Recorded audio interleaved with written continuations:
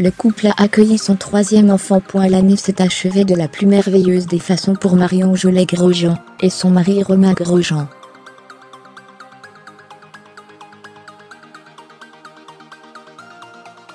L'animatrice de TF1 et son homme ont en effet accueilli leur troisième enfant, le 31 décembre 2017.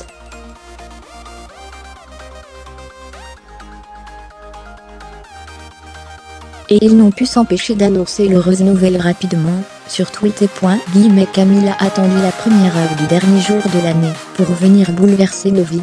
Elle fait déjà le bonheur de arrobas Grosjean, celui de ses frères et le mien, dièse b o n n e a n n e e 2018, a tweeté la belle brune de 36 ans.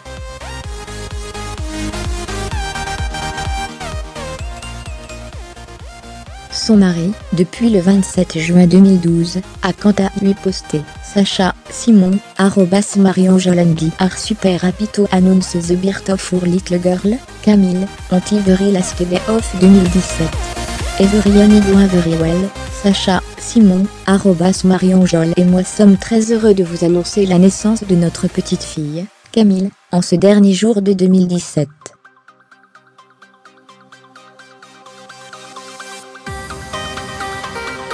Tout le monde se porte bien, en français. En couple depuis 2008, Marion Joulet-Grosjean et le pilote automobile sont devenus parents pour la première fois en 2013 d'un petit Sacha.